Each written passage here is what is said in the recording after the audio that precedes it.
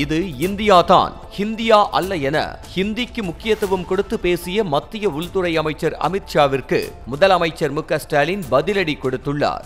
இது தொடர்பாக அறிக்கை வெளியிட்டுள்ள அவர் ஒருமைப்பாடு மிக்க இந்தியாவை ஹிந்தியா என்ற பெயரில் பிளவுபடுத்தி பார்க்கும் முயற்சிகள் வேண்டாம் என கூறியுள்ளார். ஹிந்தி தான் இந்தியாவின் தேசிய மொழி என்கிற கட்டமைப்பை உருவாக்க நினைப்பது ஆதிக்கத்தின் வெளிப்பாடு என குறிப்பிட்டுள்ள முதலமைச்சர் மு ஸ்டாலின் அரசியல் சட்டத்தின் எட்டாவது அட்டவணையில் தற்போது இடம்பெற்றுள்ள தமிழ் உள்ளிட்ட இருபத்தி ரெண்டு மொழிகளை ஹிந்திக்கு இணையாக மத்திய அரசின் அலுவல் மொழிகளாக்கி ஹிந்தி தினத்திற்கு பதில் இந்திய மொழிகள் நாள் என கொண்டாடி கலாச்சாரத்தையும் வரலாற்றையும் வலுப்படுத்துங்கள் என அமித்ஷாவிற்கு பதிலடி கொடுத்துள்ளார்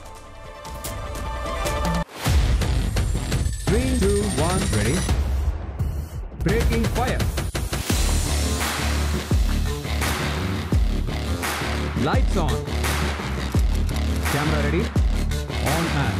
தமிழ்ச் செய்திகளின் புதிய அடையாளம் காலை பொழுதின் புதிய அங்கம் செய்தி வழங்குவதில் உலகத் தரம் இணைந்திருங்கள் காலை ஆறு மணியிலிருந்து உங்கள் நியூஸ் தமிழோடு